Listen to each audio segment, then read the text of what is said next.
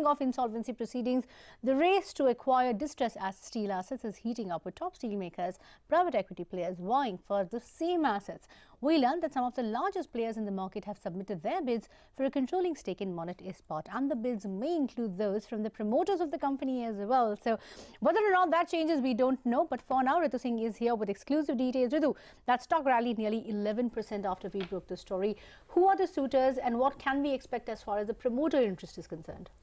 Well, uh, the least I can say is the stressed asset space is a buzz with M&A activity. A number of NCLT cases have come up for bids, especially in the steel sector, and some marquee names, including that from JSW, you know, across the top steelmakers and funds are eyeing for the same assets. Monnet Ispat could perhaps be the first among the 12 IBC cases uh, where firm bids are now being placed, and the outcome of this particular resolution will set the stage for many others that are to follow. So we do understand from our sources that top players like JSW Steel, Tata Steel, Vedanta Group as well as Kolkata-based Shyam Metalics are among the contenders for Monnet Ispat. There are other funds also that are eyeing acquisition of Monnet Ispat, including Blackstone, TPG, SSG Capital and Edelweiss ARC.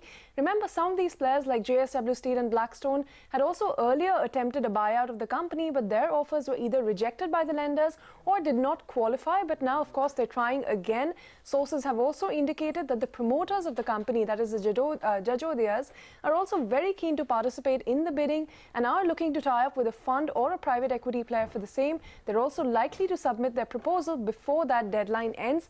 Uh, Monnet, remember, has a debt of over 10,300 crore rupees to a consortium of lenders that is headed by State Bank of India, which have formed the committee of creditors along with the IRP to evaluate these bids. The last date for submission has been extended by 10 days from 17 November to 27th of November, and that's the date to watch out for.